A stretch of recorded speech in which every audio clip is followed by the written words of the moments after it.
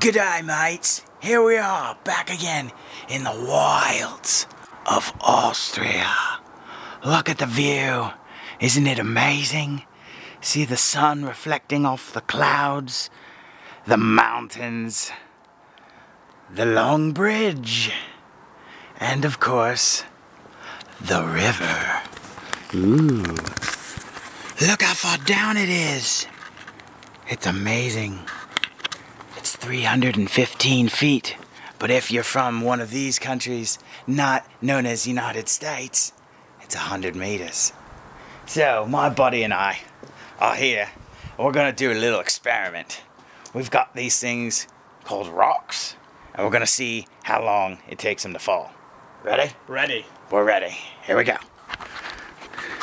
And go.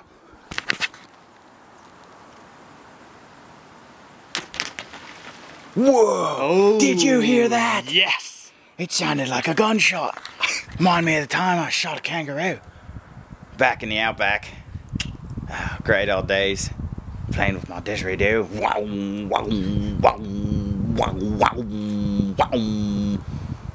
We should throw another rock. Let's go. And.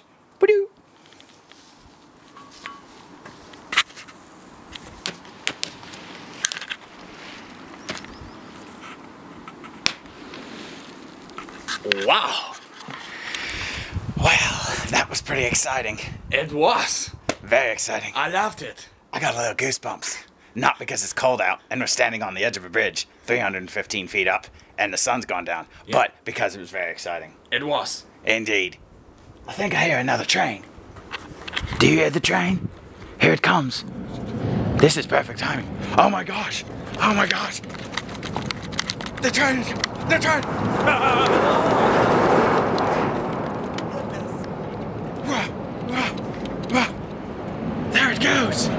It's going!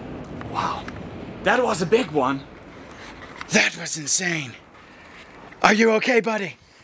I'm fine. I need a little time, but I'm okay. Thank you once again for joining us on Austrian Nature Show. This is me. I don't know my name, and my partner.